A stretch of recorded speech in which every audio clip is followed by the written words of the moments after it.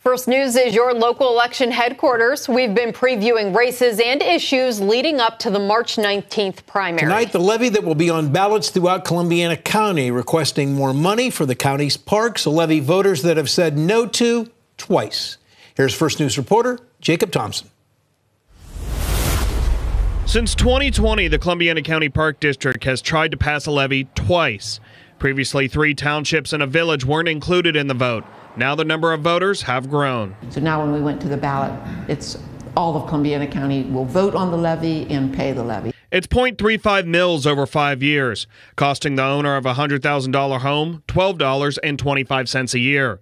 This will give the Park District over $800,000 a year. It will go mainly towards the maintenance and upgrades of the Greenway Trail, Scenic Vista, and Hellbender Bluff parks. Hellbender has neither electric or water available in the park. I think we'd like to run some electricity to our pavilion there. Including culvert work at the Greenway Trail and improvements to their water system at Scenic Vista.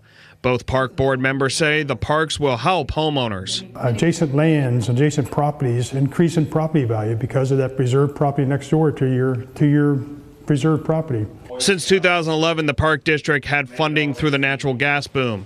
The Park District does get $15,000 a year from the county commissioners. That $15,000 does also does not cover the utility costs. It does not cover the cost of the porta johns out there on the bike trails. The porta johns themselves are, are that much money, uh, around $15,000 a year. We probably have enough money to maintain the status quo through 2025, and then it's going to be some serious, serious heart wrenching decisions on where we go from here.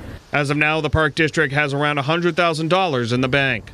In Columbiana County, Jacob Thompson, WKBN 27 First News. Hi, everyone. I'm Lindsay Watson. Thanks for watching the WKBN 27 First News YouTube channel. If you want more video news, subscribe to our channel. And don't forget to download the WKBN 27 First News app for breaking news alerts.